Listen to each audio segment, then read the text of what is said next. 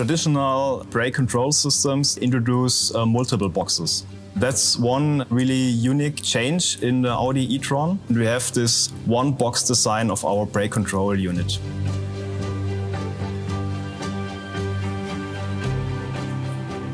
My name is Marco Hörter. I'm a project leader of the brake control unit of the Audi e-tron. We start with the brake pedal.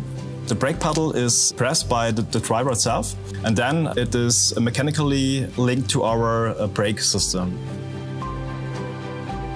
Our ECU, our software on our system, manage the handshake between the electrical engine as a brake actuator and the friction brake. So we uh, sense every driving maneuver and then we decide on our software if we use either the electrical engine to brake the car or on the other hand uh, we can use the friction brake to stop the car in different maneuvers. The Audi e-tron gives you a lot of options. You don't have to change your driving style completely to get the optimal range of the car. My name is Michael Wein and I'm uh, responsible for recuperation within the Audi e-tron.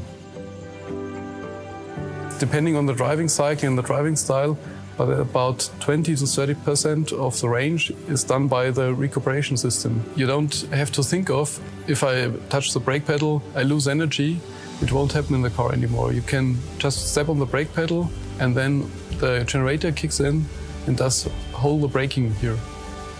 The ECU in our system is highly sophisticated. If they monitor or sense a pedestrian, for instance, uh, crossing the road, then there is an electrical signal which comes from the driver assistance systems to our brake control unit.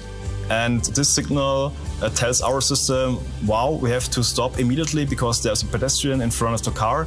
And that initializes then in our system uh, the brake pressure to stop the car. So in the e-tron, we can internally react 10 times faster than a human being on the signal. And that improves the overall safety of our car.